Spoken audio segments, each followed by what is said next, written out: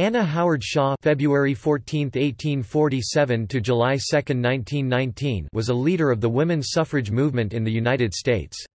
She was also a physician and one of the first ordained female Methodist ministers in the United States.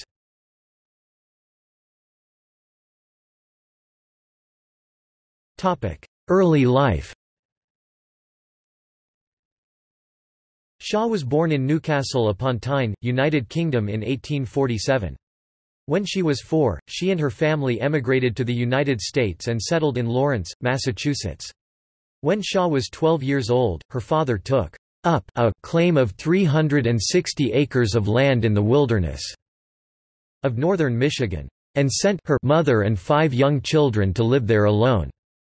Her mother had envisioned their Michigan home to be an English farm with deep meadows, sunny skies and daisies, but was devastated upon their arrival to discover that it was actually a forlorn and desolate log cabin in what was then a wilderness, 40 miles from a post office and 100 miles from a railroad. Here the family faced the dangers of living on the frontier. Shaw became very active during this period, helping her siblings refurbish their home and supporting her mother in her time of shock and despair. Shaw took on several physical tasks such as digging of a well, chop ing wood for the big fireplace, and fell ing trees.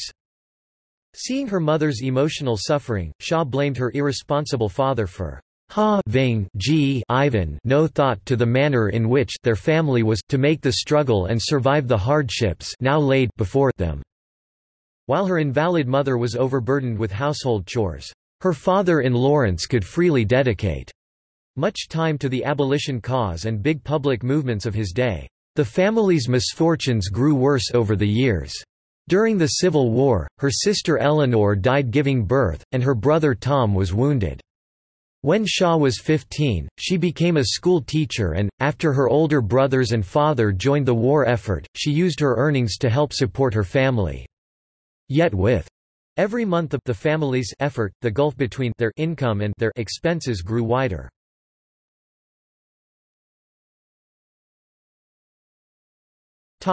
Call to preach As Shaw matured, her drive to attend college became firmer. After the Civil War, she abandoned her teaching job and moved in with her married sister Mary in Big Rapids, Michigan. While she would have preferred the more lucrative work of digging ditches, she was forced to pick up the dreaded needle and become a seamstress. Her preaching career began when she was inspired by Reverend Marianna Thompson who was the first person who supported her pursuit of an education. Thanks to Thompson's help, Shaw entered Big Rapids High School where the preceptress, Lucy Foote, recognized Shaw's talents and drive. At the age of 24, Shaw was invited by Dr. Peck, a man looking to ordain a woman in the Methodist ministry, to give her first sermon. Shaw hesitated at first because her only previous experience had been as a little girl preaching alone in the forest less than pre greater than slash pre greater than dot dot dot to a congregation of listening trees, with encouragement from Lucy Foote, Dr. Peck, and her close friend, Clara Osborne, Shaw agreed and gave her first sermon in Ashton, Michigan. Despite the success of her first sermon, her newfound passion to preach received disapproval from her classmates, friends, and family who agreed to pay for her college education only if she abandoned preaching. Despite such continual opposition and isolation from so many, Anna chose to keep on preaching. She was deeply moved by Mary A. Livermore, a prominent lecturer who came to Big Rapids. Ms. Livermore gave her the following advice, if you want to preach, go on and preach, no matter what people say, don't let them stop you.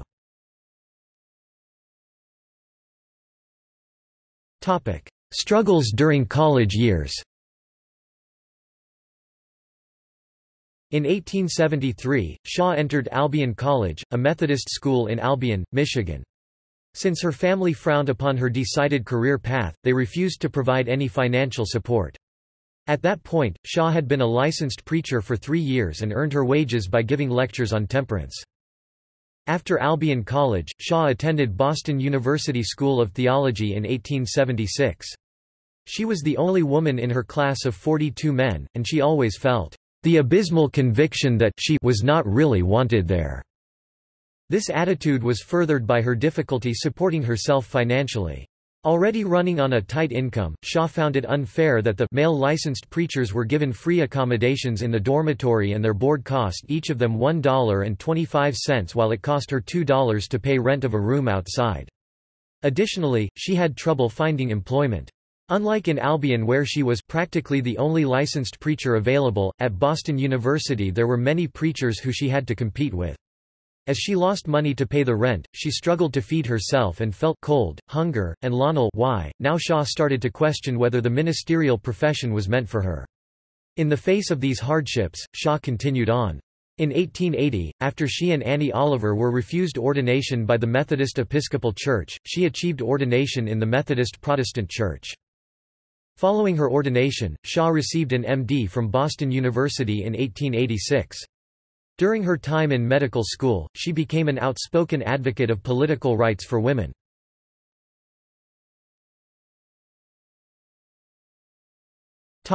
Role in the women's suffrage movement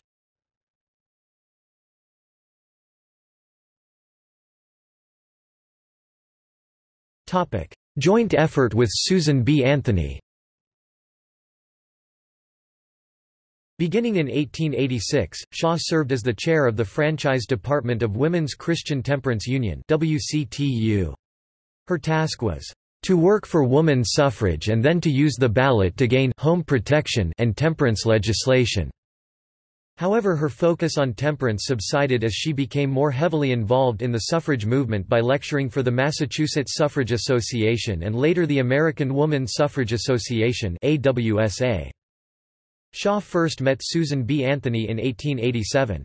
In 1888, Shaw attended the first meeting of the International Council of Women.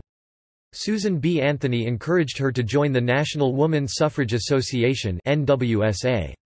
Having agreed, Shaw played a key role when the two suffrage associations merged when she helped to persuade the AWSA to merge with Anthony's and Elizabeth Cady Stanton's NWSA, creating for the first time in two decades a semblance of organizational unity within the suffrage movement. Beginning in 1904 and for the next 11 years, Shaw was the president of NAWSA. Under her leadership, NAWSA continued to lobby for a national constitutional amendment granting women the right to vote.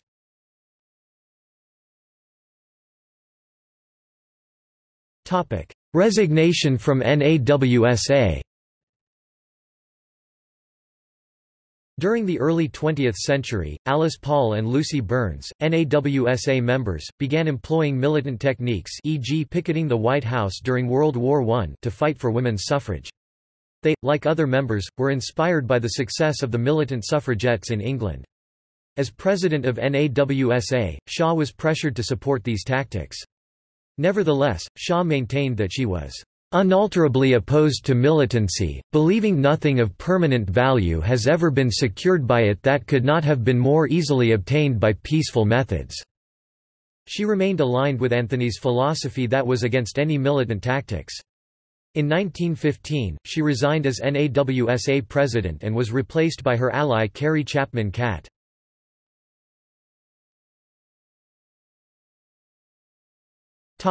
Later years and death During World War I, Shaw was head of the Women's Committee of the United States Council of National Defense, for which she became the first woman to earn the Distinguished Service Medal. She continued to lecture for the suffrage cause for the remaining years of her life. At an appearance only months before her death at Baylor University in Waco, Texas, Shaw said, "...the only way to refute the argument that America was a democracy and therefore women were entitled to vote was, "...to prove that women are not people." She ended the speech by urging the women in attendance to become involved in the women's suffrage movement. Shaw died of pneumonia at her home in Moylan, Pennsylvania at the age of 72, only a few months before Congress ratified the 19th Amendment to the U.S. Constitution.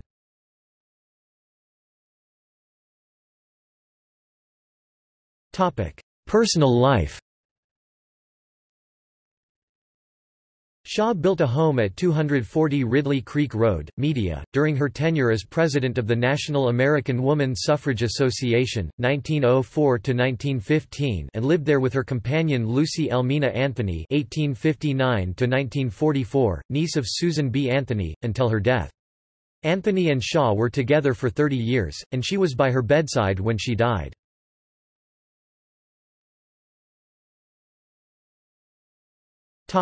Legacy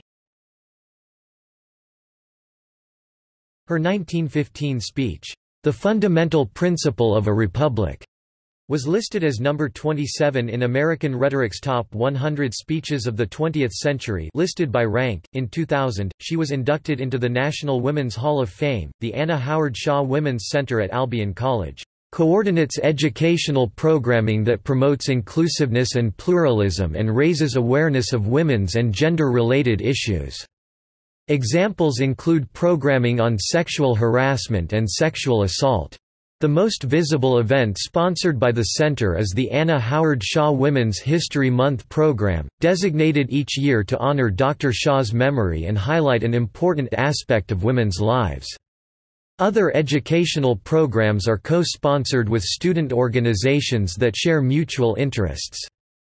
The Anna Howard Shaw Center at Boston University School of Theology promotes structures and practices that empower women and honor diversity.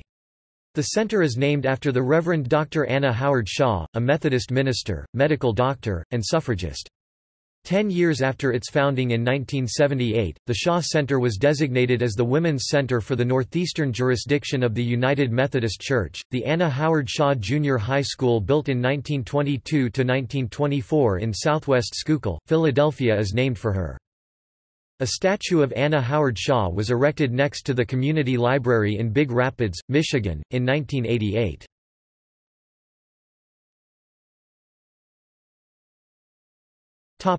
In popular culture.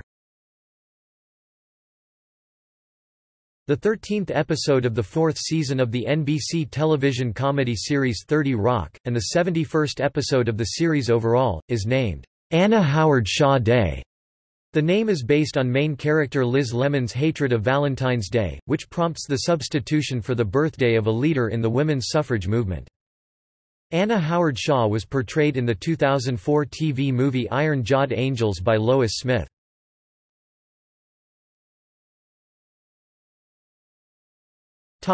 See also List of suffragists and suffragettes List of women's rights activists Timeline of women's suffrage